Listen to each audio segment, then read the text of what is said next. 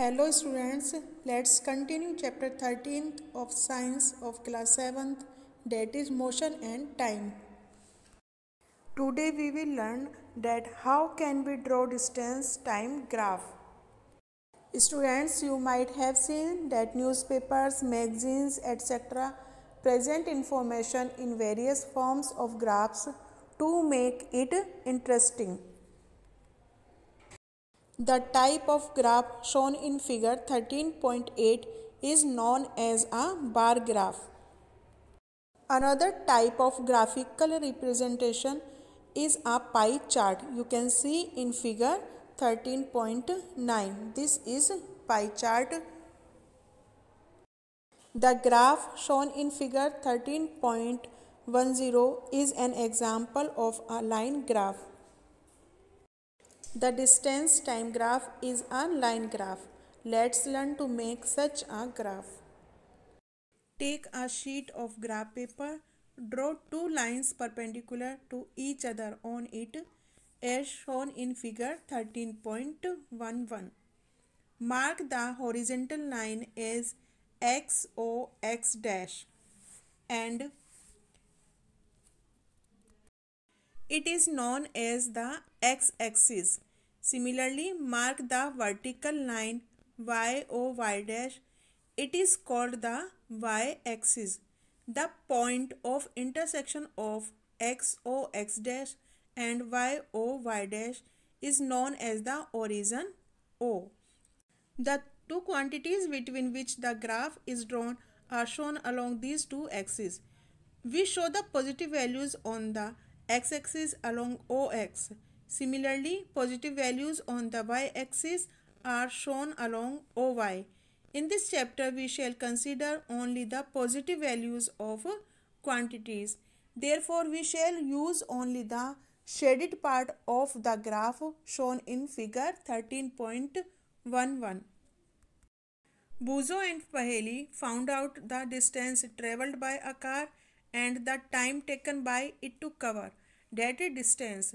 Their data is shown in table 13.6. Now you can make the graph. So students draw two perpendicular lines to represent the two axes and mark them as OX and OY. And show the time along the x-axis and the distance along the y-axis.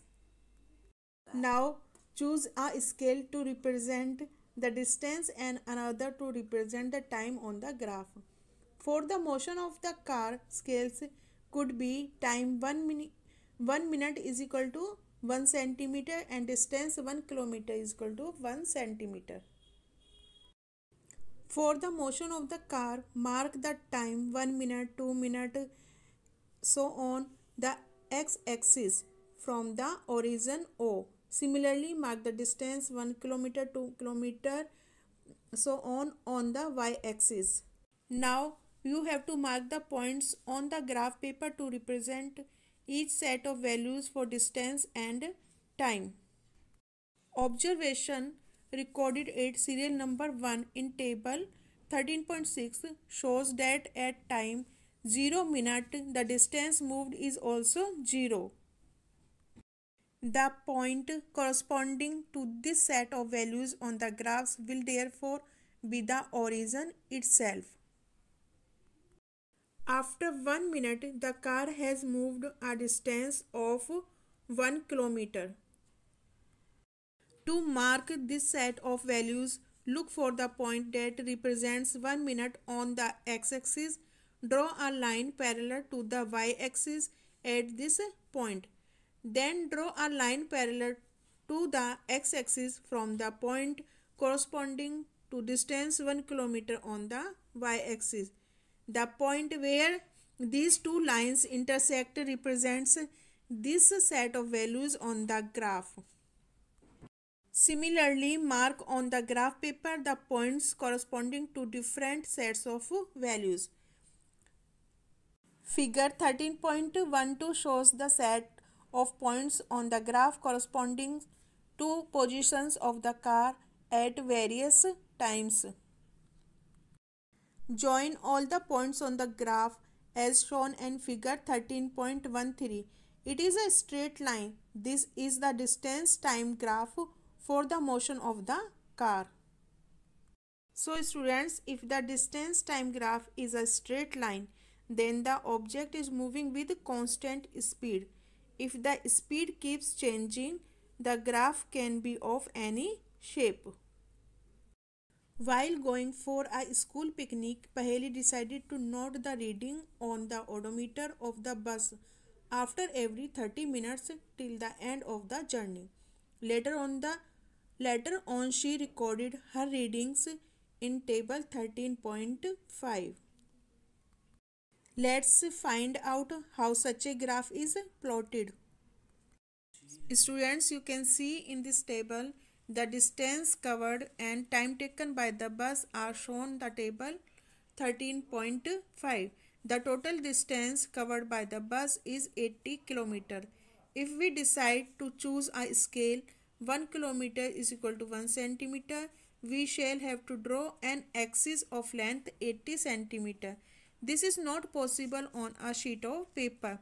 On the other hand, a scale 10 km is equal to 1 cm would require an axis of length only 8 cm. This scale is quite convenient. However, the graph may cover only a small part of the graph paper.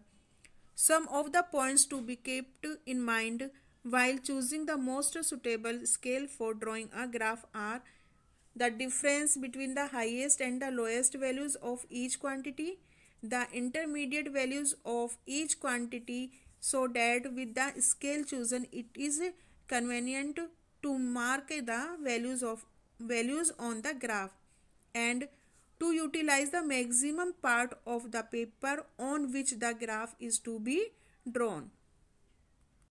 Students, you can draw the distance time graph or the motion of the bus.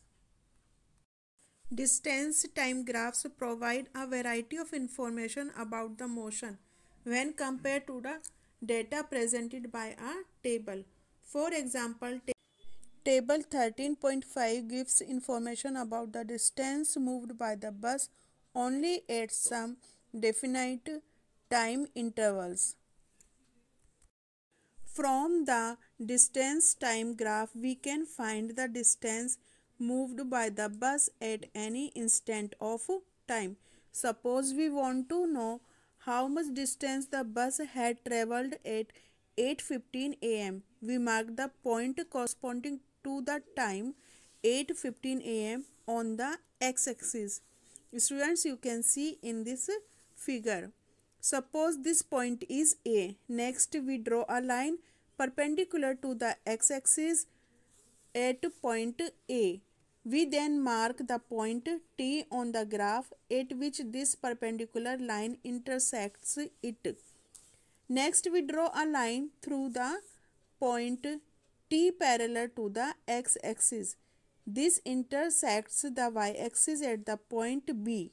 The distance corresponding to the point B on the y-axis OB gives us the distance in kilometer covered by the bus at 8.15 am. Students, you can also find the speed of the bus from its distance time graph. Students, this is the end of chapter 13 that is motion and time.